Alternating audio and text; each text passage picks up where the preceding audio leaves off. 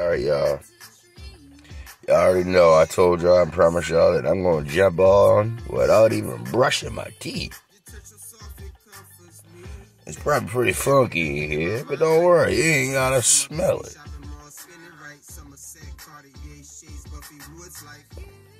Anyway, y'all, hi, how you doing? How you cheering? I wish him out this beach, but I ain't really out this. I'm inside my truck, just chilling. Uh, I was inspired, or I got my intuition to cut this video.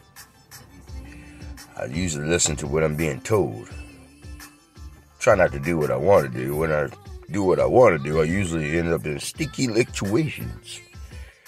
But anyway, um, the reason why I'm doing this video today is to uh, do something that I've never done. Actually, I'm going to talk about one particular stock. It's called Symbotic. I think the ticker is SYM. I've been thinking and thinking and thinking. If there's one stock that I would go into, maybe let's say a thousand or a hundred dollars, and sit it out for 10 years and it probably would probably 30x instead of just maybe 10x probably even 100x it probably would be Symbotic i tried to do a previous video about a couple minutes ago and screwed it all up because i kept letting the video uh, kept using my hand or something putting it over the mic or something here i guess and screwed it all up but hey that's that's my daughter too that's my daughter in the background i'm gonna try to show you her real quick before the video goes off. And y'all see that? Uh, can you see that?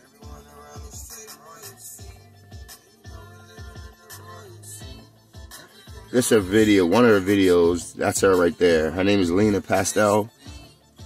And uh, if you want, if you well, if you can, please go on and support her music. I have a playlist with this song on it and at least maybe 15 other songs that she got out with videos and all on them. If you can go in, press like, share with your friends, subscribe. It'll really help her out. It'll really help me out. I appreciate it. But um, her name is Lena Pastel. That's her entertainment name. Her real name is Pearl Muckleveen. But uh, you can go check her out. Um, I think he's gonna go to another video. I just hit play on play all, so yeah, check her out. And I hope you can see it. I'm just going to hold it here for a second until it goes into the other video. Yeah, this is another video she done. Just a, she, I think she pretty much did that video for this dude right there. That she met uh, on an Uber, I believe. I could be wrong. But this is this this video. I believe she was a lot younger. You can see her hands. She's had little baby hands. But uh, I have a grandson as well, and um, you'll see some uh, shots of him on my Facebook if you want to check them out. But uh, I don't know why this thing's acting up. But anyway, never mind that. I'll go back to it. But anyway, check this out. The company is called Symbotic, and uh, the ticket is SYM. And the reason why I'm doing this video is the first time I ever did a video like this, and I don't. I'm never going to be a paid supporter. I already promise you that. Um, my objective is not to, you know, have sponsors and you know people pay me and all. I, I'm also affiliate marketing, so I just attach my links to each one of my videos. And if you see something you're interested in, just know it's legit. Because if not, I wouldn't have it on my page because I care about each one of my people and it's something that applies to maybe an issue that we can suffer or a dilemma that we're dealing with. Uh, um, ways to get around it, like if you're unhealthy or fat or you want to lose some weight, the easiest way. I've done some research on some of the you know diets and stuff out there, and I put out some of the easier ways to you, you know lose weight. Some of the more practical ways, you know, besides working yourself half to death. Diets, I believe it's more about your diet, you know, as opposed to you know you killing yourself in some gym and getting some gym membership. So if I, you know, have an affiliate link that has anything to do with diets, you can best believe it's something like a keto or, you know, something of that nature, something where you can actually diet to lose weight and it actually works. so, um, and then another way, of course, of losing weight and toning up, of course, is just change your eating habits. It's not, it's not that easy, but you do it over time. You do it with practice. That's all. And you know, water, believe it or not, and of course there's supplements out there. But I pretty much like to stick to natural things. I would rather go to a plant or leaf. But uh, anyway, uh, so I, will never take any type of sponsorship. So if you see me doing a video on one particular stock, I swear um, has nothing to do with that company. I mean, I don't know anybody that company. Nobody's called me up and said, "Hey, take some money." It'll never ever be like that. Um, it'll be simply, "Hey, look, man, I got some stocks, and out of the stocks that I got, if there's one stock that'll do this or do that, then it probably will be this stock." Is my belief. Now, I'm not giving financial advice. I'm not a stock expert. I'm, of course not. I'm a new beginning investor. So um, it's definitely not that. It's just me letting you know, wow. Look, what I did was I basically went back and I did research since December 27th because that's when we got our little, you know, bull run, is what I like to call it nobody talks about. It. It's amazing that the whole time since December 27th, nobody's talking about how their stocks and shit in their portfolio then grew up to more than 100% in some cases. But at the same time, they're putting out a bunch of fear, uncertainty, and doubt, and a bunch of fear of missing out. That's all they're putting out FOMO and FUD. It's crazy. I swear to God, it's almost like they're all going to one particular person and receiving a narrative and being told to put this out. Even if your stocks in your portfolio doesn't grow 100%, I'm sitting there like, what the hell? These people lying, man. Like, they'd rather sit there and talk to you about dividend stocks and how to get 2% dividend growth out of per quarter and how we're in a recession and, and how to bulletproof yourself by getting dividend stocks or some crap than to tell you that their stock is growing 100%. And since December 27, they done put out another 10% or 20% into their portfolio. They won't tell you that. It's crazy as shit. But anyway, so what I done is I said, okay, everything's pretty much slowed down. You know, some of these stocks that went up 100%, some of them come back down to where they started out at. So what I'm going to do is I believe now will be a good time for me to go back and I'm going to do research on all my stocks that have gone up since December 27th and what type of growth they've gotten, whether they've come back down or not, and where they are right now. And when I did my research, I noticed that out of all my stocks, I know the Symbotic is kicking ass. Now I got a few of them, Tenaya, Bright Green, but but uh, Symbotic and artificial intelligence. I keep putting out videos saying that um, a lot of my knowledge, you know, on what's written, you know, not just biblically, but when you talk about the whole aspect of where we are matter wise and physical wise and the mysticism behind it, when you talk about, you know, believing in, or, you know, Kabbalah believers, um, mysticism believers, you know, sacred geometry, colors, and all the things, light, and all the things that make up this matter, feel, place. Um, when you go to those people, they have what they have written as well. And those people, they follow a strict ritual, a strict series, if you will, or repetition. You know, it, when these people get together, these millionaires, billionaires, trillionaires, they get together and they say, well, we're going to have this done by 2030. Do you best believe they will? They ain't joking. And if you go back and watch the track record, you can see they ain't joking. So one indicator, which is a strong, I believe one of the strongest indicators, is you got legislative change. You know, the laws just change, and then you got also what's written. You know, with these guys is you know these Kabbalah believers. You know, um, you know how how you know precise they are with time, and you know, and being on point with their projections and and you know seeing to it that the end result is obtained. That's just what they do. So that can help you out in the stock game as well when you have a big macro picture on dynasties, the, the whole world, um, especially the macro picture on you know finances, what financing is, what banking is, what currency is, what barter is, exchange is, and how it all plays a part in the part of the timeline where we are right now. And the bigger picture, you know, like for example, gross domestic product and how important gross domestic product is and how gross domestic product is going to receive one of the biggest changes that has ever received worldwide simply because of the advent of artificial intelligence and robotics and autonomous and things like that. You know, when you think about it from a macro perspective or a business perspective, or economic perspective, you know, when it comes to producing, there's no need for a human being to produce anymore. Um, just watching what happened during the pandemic, you can see, um, you know, just in three, four years, how, I mean, we step out in the pandemic, we come back, and literally all our stores has got automation, like some way, shape, or form. We got to pay for bags, and just the bags alone will pay the few employees that are left there helping you out. Um, and then you see major change like, you know, Dunkin' Donuts, you know, McDonald's, humanless environments. It's one thing to have a paperless environment. It's another thing to have a humanless environment where, you know, there's no humans tending to the other humans. Uh, those humans that are there are just consumers and everything else is being handled by autonomous.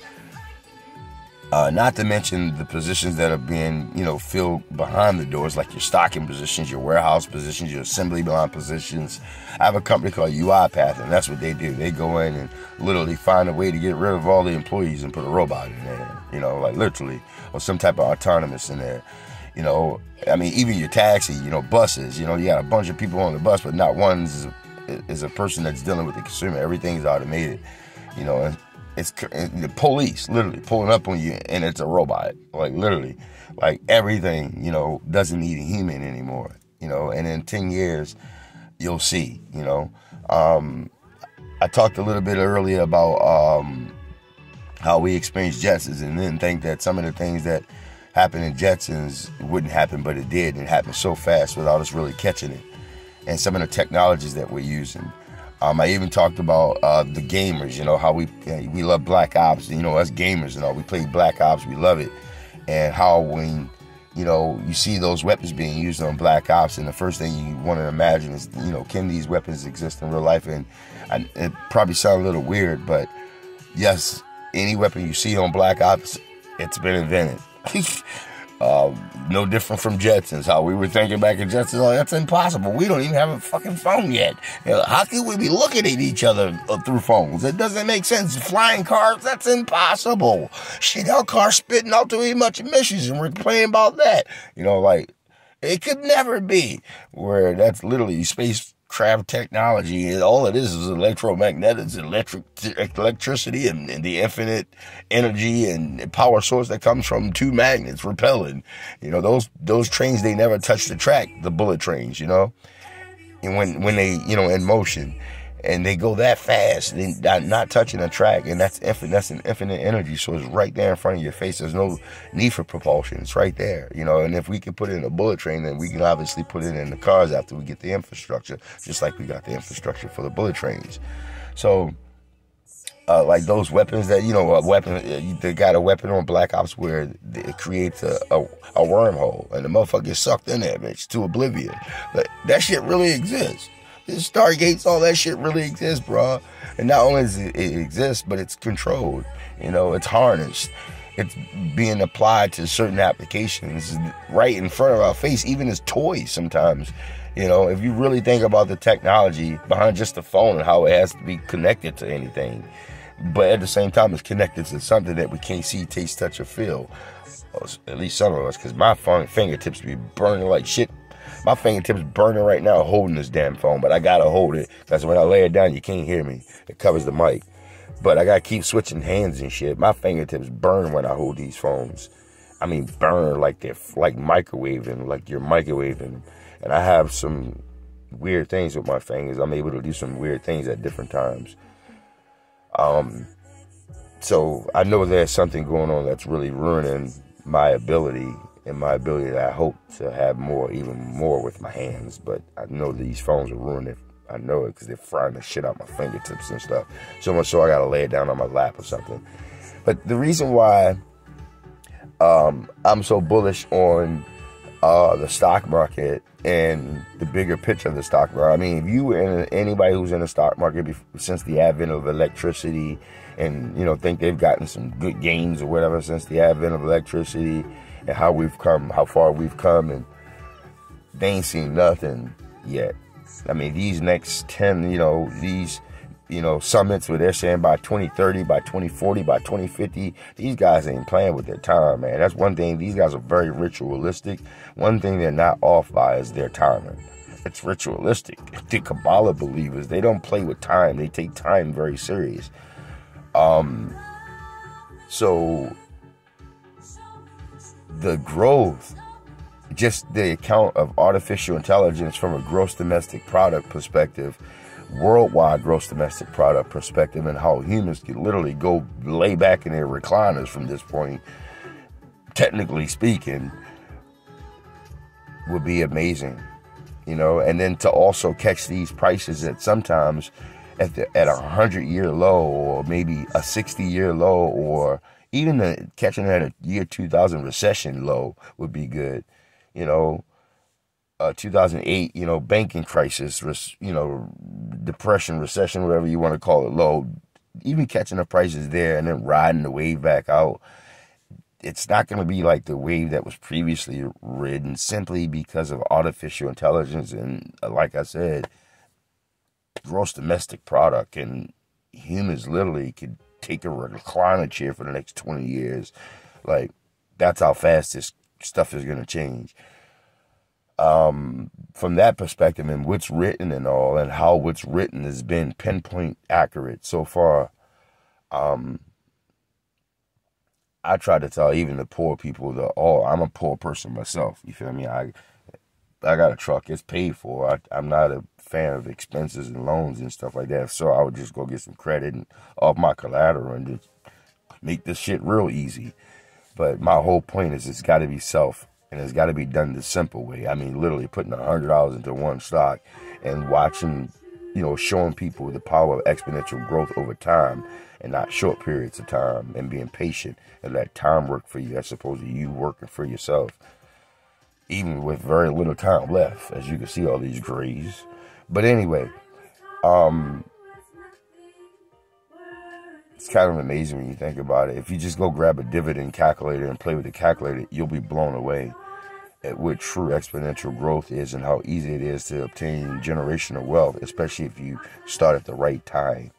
It's all about time. I try to tell people it's not about money. God, it's time. Motherfuckers ain't listening. They get so caught up in the income and the cash, and they forget completely about net worth and equity and appreciating assets. They they completely forget about that. And you sitting there rubbing feet with your girl and shit every day, wondering what I'm gonna do today. I'm so bored. Fuckers just ain't catching it. But they ain't hearing it. All, you know. But the things that I learned make make it so that I swear I'll never ever sell another drug or do anything. I ain't gonna go into any other details. Do anything wrong or illegal. You almost feel like an asshole. I, as some of these guys out there, I swear to God, some of my people I love that I talk to on a daily basis, trying to change a hundred to a hundred and fifty is hard.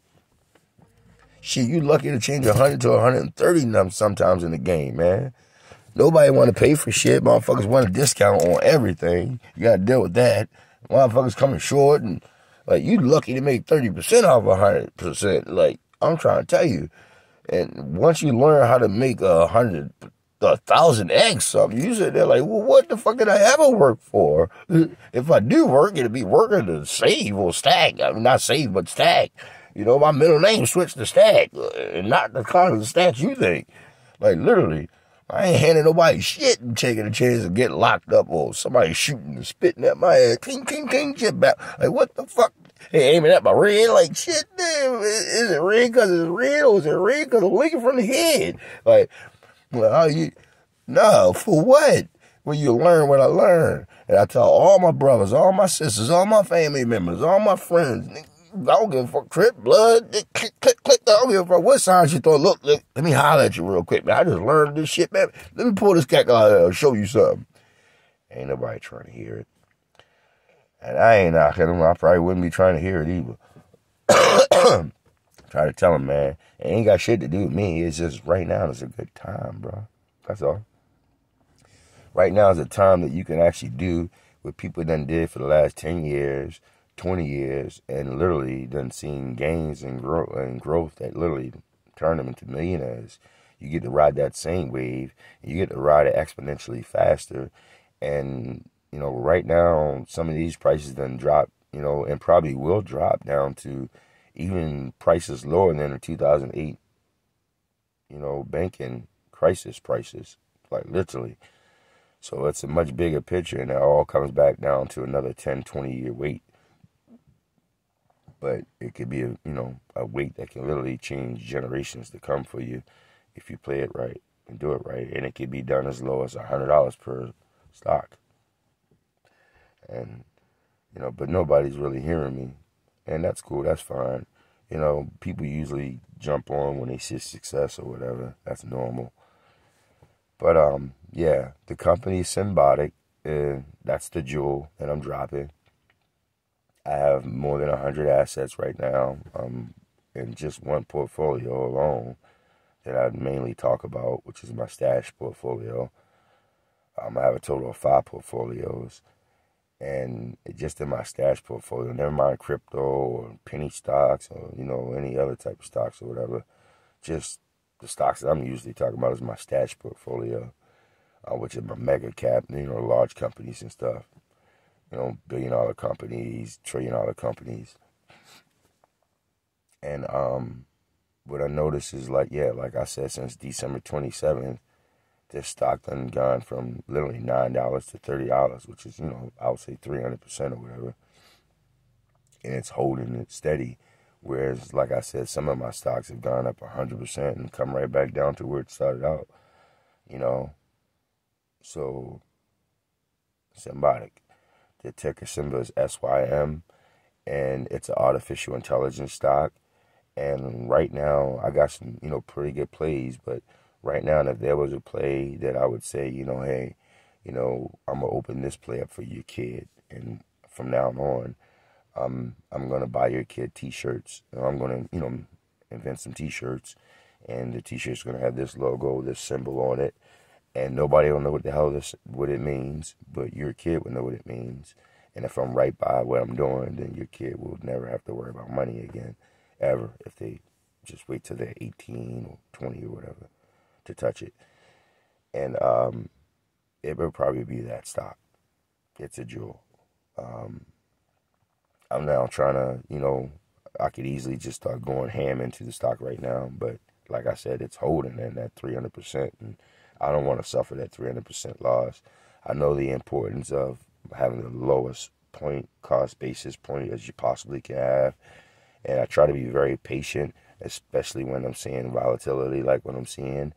I look at that volatility as opportunity. So what I'm doing is pretty much trying to be as patient as I possibly can you know, and just stay where I'm at right now, accepting my loss. And, you know, simply meaning accepting my loss at not getting it at 300% cheaper. but, um, and hoping that, you know, it goes ahead and keep trending downwards and trend downwards to a spot maybe where I like to pop it at and probably pop it. It ain't going to be no more than a $100 pop. I probably, you know, I, it, literally that being my number one play, I'll just keep it at a 100 at you know, like I said, my objective is to show people how to do it with a hundred dollars. You know, um, at the end, I might have a thousand dollar play out there, something like that. Maybe a couple thousand dollar plays out there at the end, just for GP. But the focal point would be to show the importance of a hundred dollars and how far it could take you over time. Um, that's the objective. You know, the power of true, you know, exponential growth or compounded growth over time just showing you know a true example of it you know and not being distracted by small things like dividends and things like that while you know trying to invest how important growth is and not just growth and you know crazy dumb you know fast growth but growth over steady growth over time and not just steady growth over time but you know that type of steady growth over time that's almost impossible to predict or to to forecast um, I'm talking about more than 100% gains each year for 10 consecutive years. You know, that's the objective. You know, hey, when I look back at 10 years, I can see the stock has grown 150% each year over more than 10 years. So I did hit it on the nail, and I, I was able to do that because I got it at its lowest possible cost basis strike point. And that's my objective. You know, I could easily go in and say, okay, well, you know, I took a loss at 300% and start piling up right now and go ahead and assume the other growth. But the objective is to get the cost basis strike point as low as possible so that I can ride the wave. You know, a lot of people say, okay, well, you strike and you keep cost base averaging. I say no to that. I say you strike and you never strike again. Uh, you know, like, for example, if Microsoft got down to $95 and you put a hundred dollars in Microsoft at one time, or you put all that you were gonna put into them right at the one time that they you struck right at the best time, and you struck their ass when they went ninety five dollars. You may have struck them at ninety six, but you put a thousand dollars in or a hundred dollars in, and then they bet they asses flew all the way up to a hundred and twenty or some shit. And you said that well, I'm gonna go ahead and buy some more. No, you just fucked your cost basis strike, but your strike a basis point up. So, nah. Once you get that hundred in there, once you get that thousand in there, the objective is to ride the wave, to never ever strike it again. Period. And also something nobody else is gonna tell you is never pull profits from it again. I know it sounds bananas, but the objective for me is to see literally a thousand percent sitting beside any one of my assets. And if it takes 10 years to see a thousand percent growth sitting beside an asset, then I'd rather see that thousand percent growth sitting alongside of an asset that took it 10 years to get there, or 11, 12, 13, 14 years to get there with no interruptions, than to be looking at something that got there in, let's say, three years. Trust me, it's a big difference. And that's what I mean. Pull out the calculator, play with it yourself. You know, a lot of us, we haven't pulled out calculators and played with them since we were back in high school. Just play with it. Take a couple hours to play with that motherfucker. Let me know what you come up with. And then let me know if that changes your mindset when it comes to investing and how you invest and how unorthodox my style is by saying, I want to see a thousand percent and to be able to look back and say, all I put in was a hundred and I never just I just never touched it.